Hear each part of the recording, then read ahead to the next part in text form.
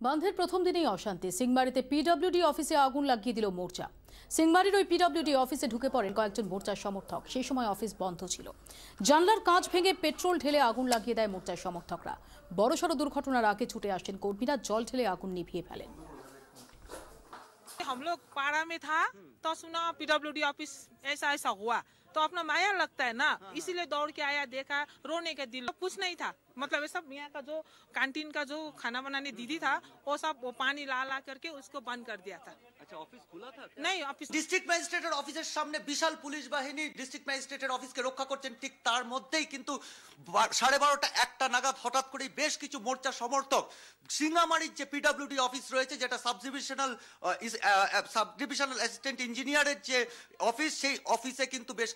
মোর্চা সমর্থক হঠাৎ- করেই হাজির হয় এবং তারা সেই অফিসে আগুন লাগিয়ে দেয় পাহাড়ের ধারে লেবংকার্ট রোডের পাশে এই অফিস আমরা দেখতে পাচ্ছি।